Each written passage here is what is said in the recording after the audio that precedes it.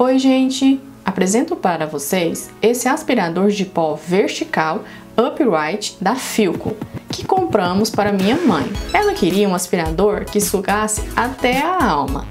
Fizemos algumas pesquisas e esse foi o resultado. Ele conta com uma alta performance de sucção, pois dispõe de 2.000 watts de potência. Para mim, esse é o principal ponto forte dele, ideal para limpeza de pisos, tapetes, estofados e carpetes. Além disso, possui tecnologia Ciclone, que, através do tanque de poeira em formato Ciclone, evita a obstrução da passagem de ar, otimizando seu desempenho. Ele possui filtro EPA, que retém 99,5% dos ácaros e poeira. Conta com cabo flexível e um cordão elétrico de 4 metros de comprimento. O aspirador também contém bocal para cantos, bom para limpeza de carros, escova rotativa automática, ideal para remover fios e cabelos de tapetes, estofados e almofadas, e porta-fio que garante maior praticidade ao guardá-lo após o uso. Seu reservatório é permanente e lavável, possui capacidade para até 2 litros,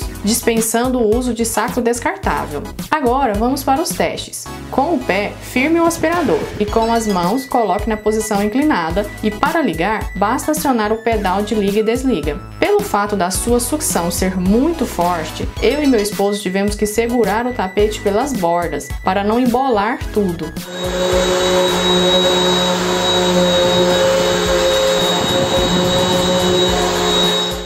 Resultado da limpeza foi essa. Acredito que superou as expectativas da minha mãe, pois ela queria um aspirador que sugasse até a alma. E se você quer um assim também, vou deixar o link na descrição, de onde você vai comprar com um ótimo preço. Já na passadeira, coloquei uns farelos de bolacha e ele sugou tudinho. O único problema é o tapete ir junto com a sucção, caso não prenda as bordas. Fiz o teste no tapete felpudo da minha mãe e ele se saiu muito bem. Agora, coloquei todas essas sujeirinhas no piso e ele limpou tudinho com muita facilidade. Outra vantagem dele é o fato de ser ergonômico, girando com facilidade para o local que deseja aspirar. Ele é bem prático para transportar de um cômodo para o outro, porém ele não entra debaixo dos móveis, como por exemplo o box, sofá e guarda-roupa, mas você pode usar o cabo flexível para resolver essa questão. Porém, ele não é muito longo, o que acaba limitando a limpeza. Outro ponto a ser mencionado é quanto ao ruído que é de 86 decibéis, sendo categoria 3. Mas, levando em consideração a potência do produto, eu achei bem aceitável.